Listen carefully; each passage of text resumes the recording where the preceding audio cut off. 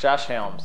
I've been educating for around 20 years and traveling the world learning from some of the world's top educators. I'm here in Brazil working with Sweet Professional and learning some top techniques and working at their headquarters, learning all their ins and outs and amazing new techniques. I'll be doing a smoothing with the first shampoo. It allows you to lighten right after the smoothing treatment. So come with us and watch the process.